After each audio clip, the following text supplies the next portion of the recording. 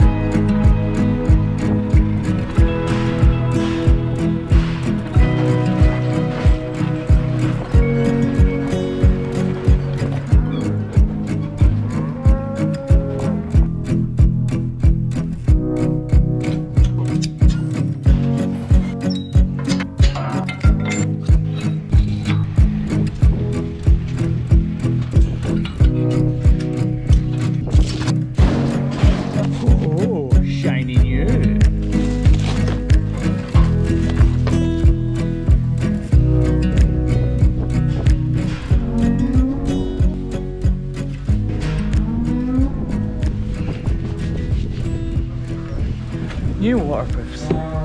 Life is good. First job of the day, get some of these cows in, get their feet trimmed and looking sexy. That's it, that's it, that's it, that's it. So today we've got about 26 or 27 of these cows to trim.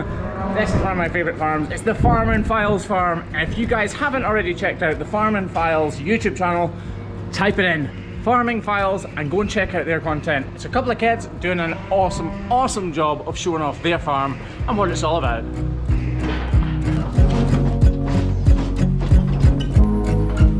So today we're talking about dairy farmers and why they tend to keep their cows inside all year round and why that may seem like an absolutely terrible thing to a lot of people, but actually why it can be kinder to the cows in some respects and why they really do it. And we're also at Cow 812's farm, so we're going to take a look at her. But first, let's take care of the cow that's in the crush because she has a surprise in store for us.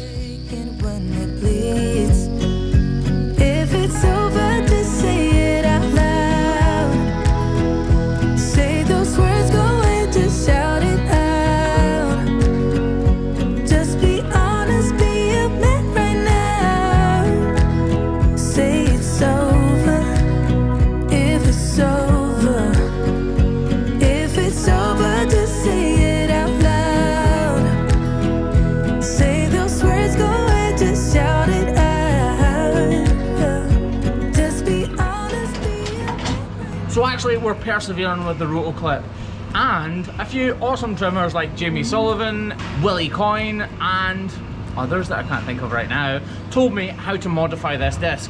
So that is something that we will be doing in this coming week and I'll show you exactly how to do it. For now though, we're persevering.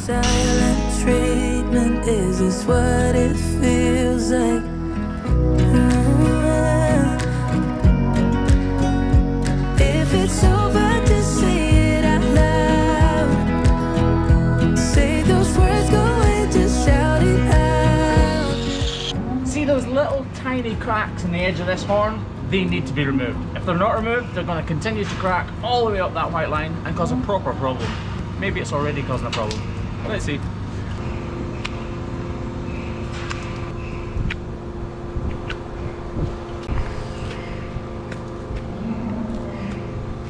You see, this is exactly why we investigate these cracks. It's looking like this could actually be a problem. I didn't see her walking in, so I don't know if she was lame or not. One thing I do know is we need to investigate that and completely get rid of that crack because it looks like it could form an abscess or something higher up the wall.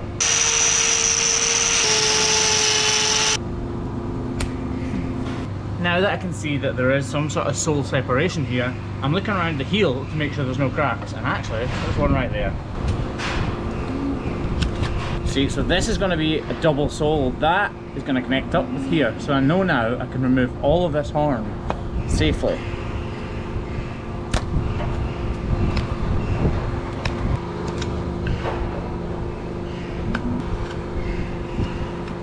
You see how this part of the horn is darker and this comes to a sudden stop? That lets me know that this is disconnected. So actually I can peel all of this away without cutting into any flesh.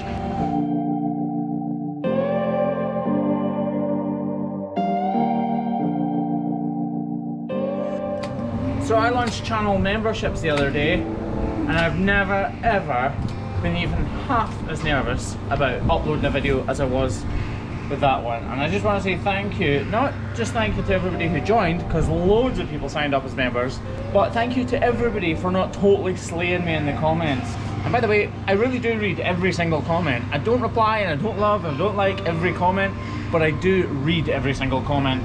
So if you've got anything to say to my face, do it now in the comments. Go on, I dare you. Just not anybody that knows me personally because then I'll feel really bad about it. Probably cry.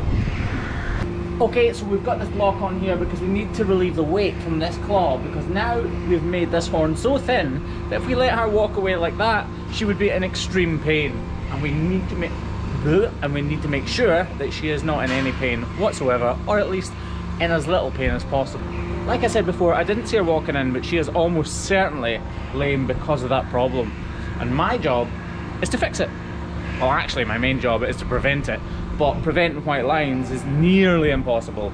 So I just need to tidy this up by getting rid of this little raggedy horn here, here, here, and reduce this a little bit. And then I'm to dress it. I tell you guys this all the time, so you're probably sick of hearing it, but this is 10% iodine. This is what we can buy in the UK.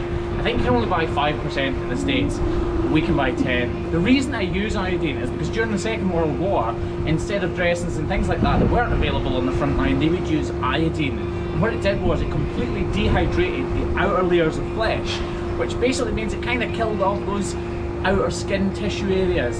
And in doing that, it forms a protective barrier of dehydrated skin. And that's what I want to happen here. I want a protective barrier I want all of the bacteria to be killed, and this will kill that nasty bacteria. And I want the lesion to be protected by that in this sort of nice, safe, and clean environment. Easy peasy lemon squeezy! Next clip.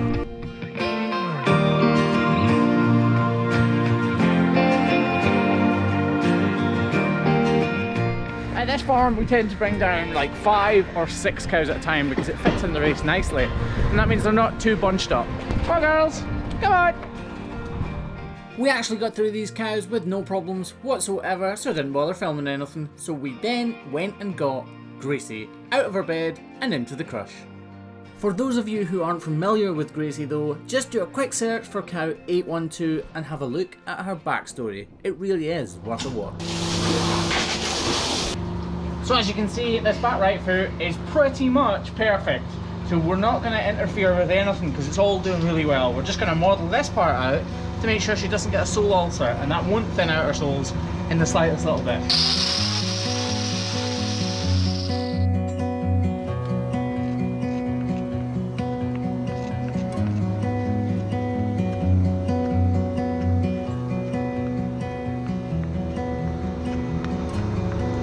See, so poor old Gracie here was starting to get a bit of bruising in there where this typical sole ulcer site would be. We've modelled it out and that's not going to be a problem now. And these, pretty much completely healed. Next foot, which unfortunately isn't quite so good.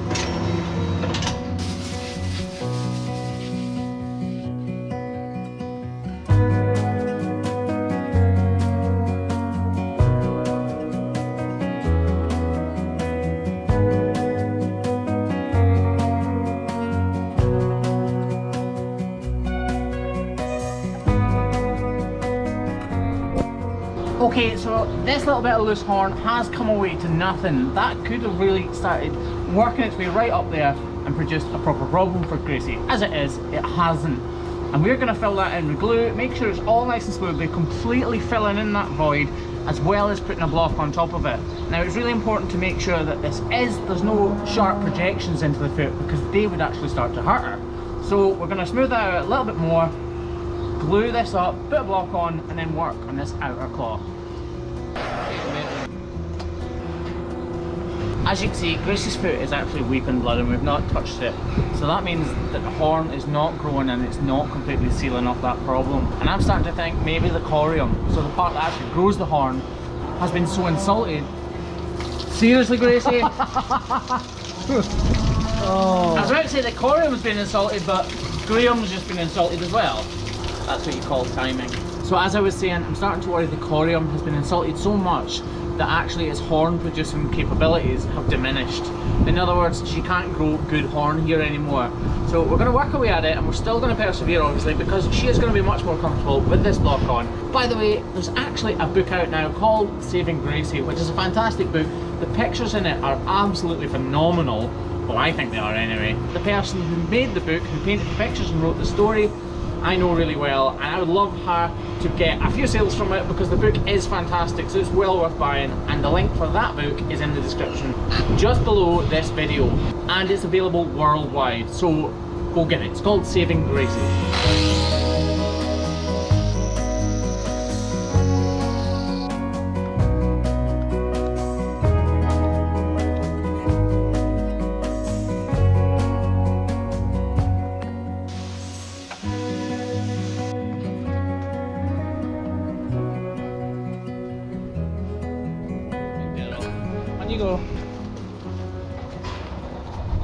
So there are definitely positives and negatives. Her other foot is pretty much completely healed, but that back left one is really, really struggling. She's looking better on it. I really, really hope that she looks completely better at some stage because we've really put a lot of effort into her. But she is worth it, isn't she? Come on, lass. Come on. Good girl. On you go. On you go.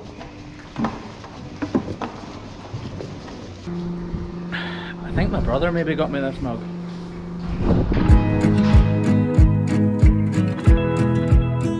I feel extremely lucky to be able to live here in southwest Scotland. To me, the land is beautiful, it's lush, green, and full of life. But the reason it's that way is because of our climate and because of the way the land lies. We have lots of hills, valleys, glens, mountains, and streams. And because of all those different things, and because where we're located in the world, the climate is apt to change very, very quickly indeed. Many dairy farmers here choose to keep their animals housed in sheds all year round, 365 days of the year, and I want to take a quick look at exactly why that is. Is it best for the cow? Is it best for the farmer? Do they care? Why do they care? And what is the truth behind it?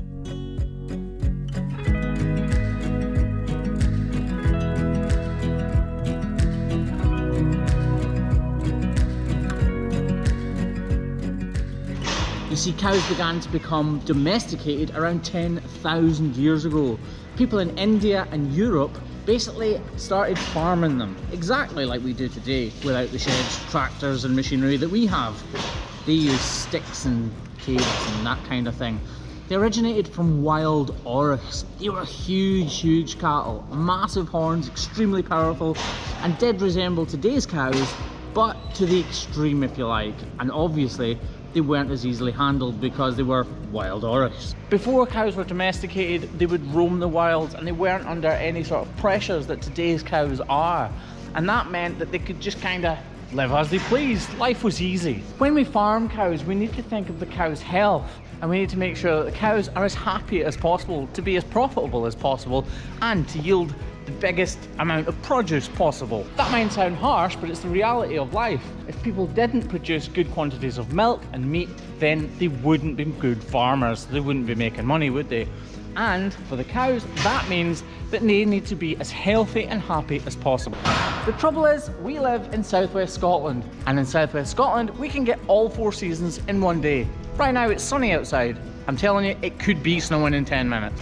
Okay, so obviously I'm exaggerating, but it's, it is sunny outside right now and it could be a torrential downpour in 10 minutes time. People do keep these cows outside all year round sometimes and when it's wet and windy and wild you'll see the cows gathering at the gates because they're desperately wanting to get back into the sheds because they really, really don't like it.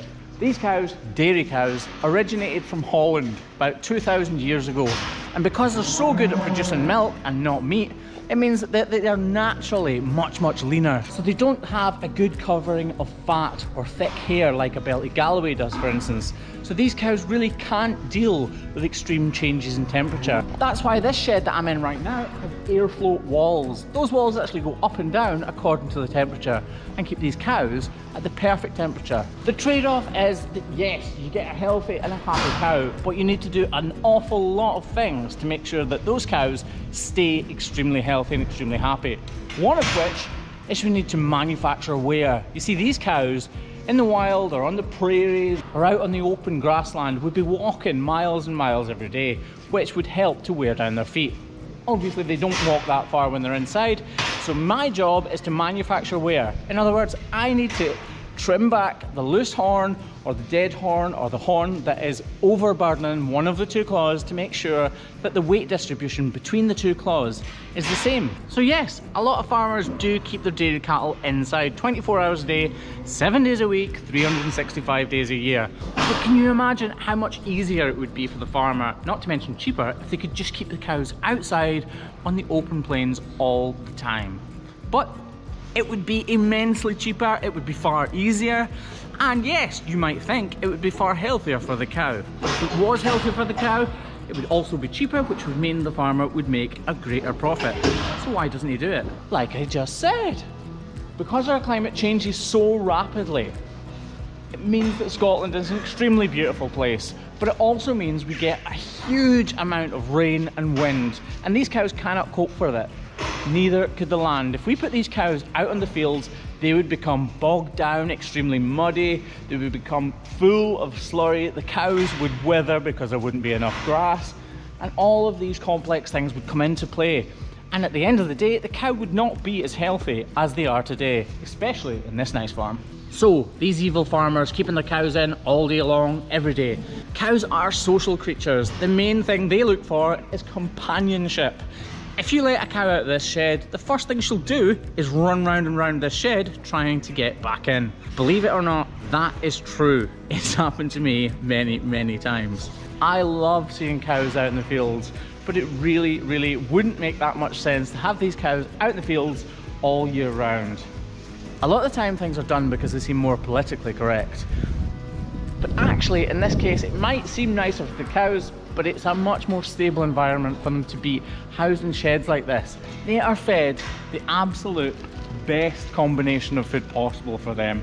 They're checked by the vet once a week, every single week. I come in every two weeks and make sure that their feet are in tip-top condition. There are all sorts of systems in place on farms like this, from cushioned beds like this, to airflow walls like that, ducts in the ceiling, all these lights in the ceiling to make sure that the cows are as happy as possible. And there is definitely a financial motivation for the farmer in all of this. I'm not denying that. But luckily for us, and luckily for the cows, that financial motivation completely aligns with the health of the cow. What is healthiest for the cow is also healthiest for the farmer's wallet. So I'm happy on that front, and so are these cows. So as always, we like to make it a real team effort when we wash up because we're a team and we need to get things done properly, quickly and efficiently. So we're both going to get this thing washed up as quick as possible.